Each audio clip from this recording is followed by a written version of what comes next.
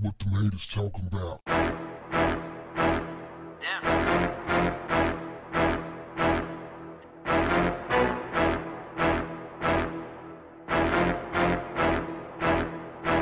What's up, family? Before I go in, smash up the likes, smash up the likes, smash up the likes. It helps with my video placement on YouTube. Puts it in front of people outside of the Willie D Live channel.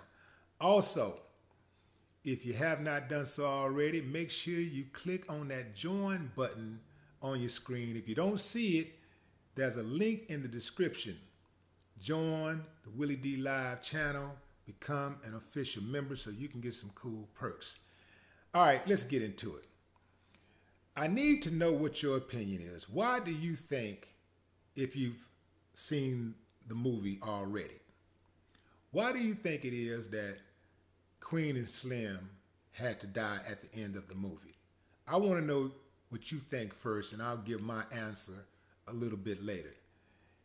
Let me give you a brief description of what this movie is about. Now, I'm assuming that most of you have watched this movie because it's been out about three weeks now. So if you have not watched it and I give up something, it is your fault, not mine.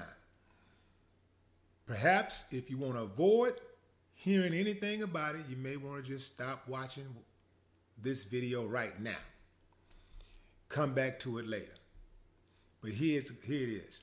So the movie is about, it's a romantic drama.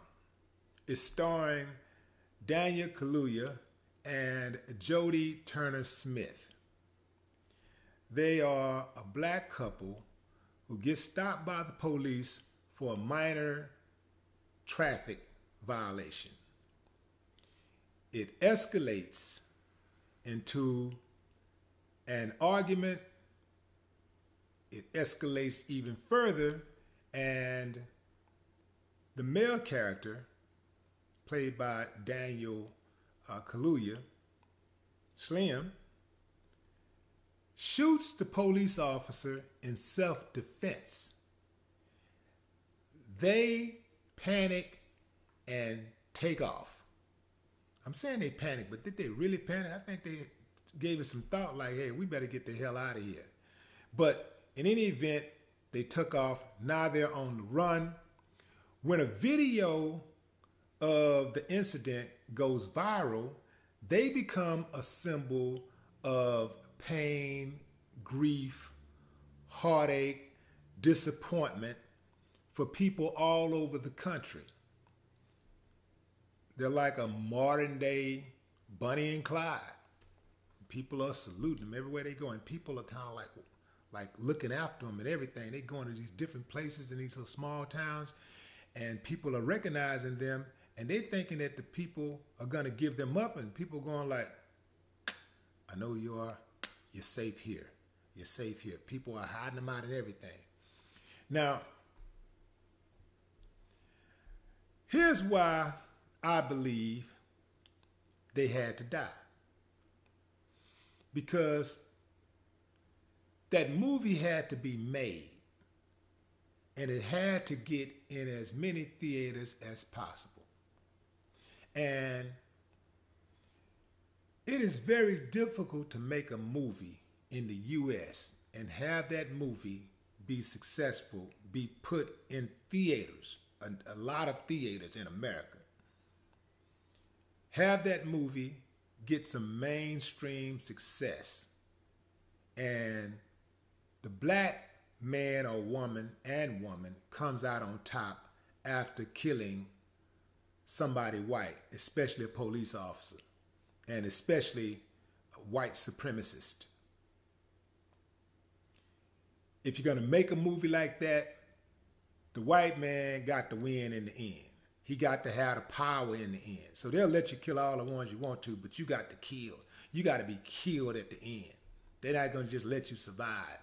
You know that that that's why Django was such a huge success because the black man rolled off into the sunset. He didn't die. You know. so you're gonna make that type of movie, you gotta be very, very crafty how you do it. Because they don't want to give anybody any ideas, any black people, especially any ideas that they could take white life and ride off into the sunset and there not be any uh, deadly consequences. That's why they killed them off the way they killed them off. They wanted to make sure that they put that message out there and that image out there, like, yeah, you did that, but look what you got in the end. You dig what I'm saying? So, you know, want you to be heroic and want you, you know, we'll show you fighting back, but not too much. That's why I believe that they were killed. I'd like to tell you my favorite part of the movie. Again, if you haven't watched the movie yet and you plan on watching it, go ahead and mute this part because I'm about to tell you my favorite part of the movie. And my favorite part of the movie is when the black cop and the white cop was outside of the safe house and they were talking and the black cop said he thought he heard something when Queen screamed after she had dislocated her shoulder and Slim yanked it back in place. He popped it back in place and she screamed you know, and they were hiding in the garage and they were trying to after that that happened they was trying to why what do you call that uh, they was trying to uh, get the car started. They didn't have the keys to the car. What do you call that? Hot wire the car yeah. So they're trying to hot wire the car and roll out of the garage and so they're trying to figure out how to get out of the garage and as they're trying to figure it out, the black cop raises the garage door up. And he's standing there with the gun. And they're sitting there like ducks. And he stepped aside and let him go through. Oh man, that was beautiful. Beautifully executed. Love it, man. Oh yeah. That was my favorite part. But boy, when they shot that woman, at the end of the movie, unprovoked, it really was indicative of everyone's view of the police. It reaffirmed why people think the way they think, why black people think the way they think about police because at the end of the movie, they gave up. They were unarmed. They didn't make any motion to try to run, uh, reach for a weapon or anything. They were just standing still and the police just started shooting. So that's all I'm gonna say about that. But what do you think?